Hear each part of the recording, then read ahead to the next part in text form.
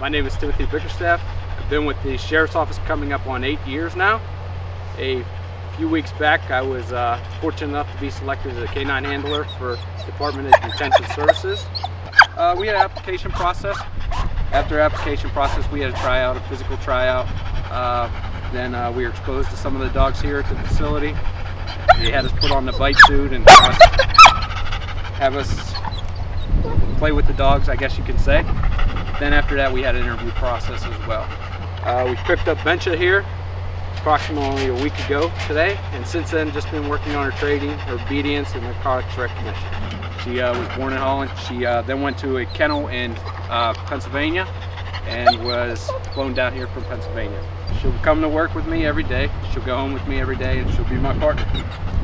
Her main focus will be the jails and narcotics, any narcotics that could be coming in or that is presently there. Uh, currently, she's just going to be trained for cannabis. Uh, that's what we're starting with right now. Uh, as it goes, I'm sure we'll expand on that. Well, it's uh, it's definitely experience.